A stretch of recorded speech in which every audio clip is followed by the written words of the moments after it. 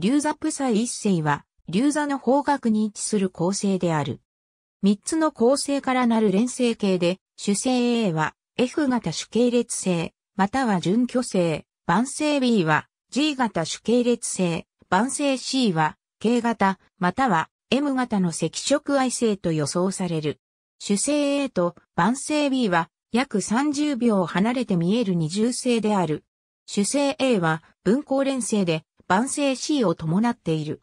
2008年、岡山惑星探査チームは、流ザプサイ一星 A の視線速度の変化の傾向から、流ザプサイ一星 A の周囲に見えない晩星が存在すると結論付けた。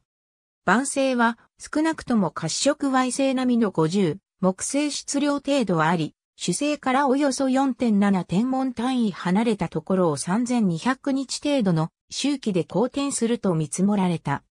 2014年、ジェミニ北望遠鏡によるスペックルイメージングで主星 A と晩星 C が分離した画像を取得することに成功した。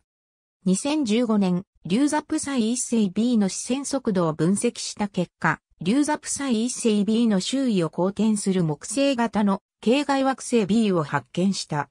さらに、その外側に惑星 C が存在する可能性も指摘されている。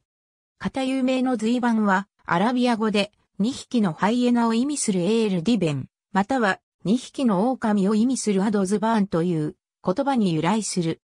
この名前は、もともとゼータ星とイータ星の名前であったものが誤って、この星に用いられるようになったものとされる。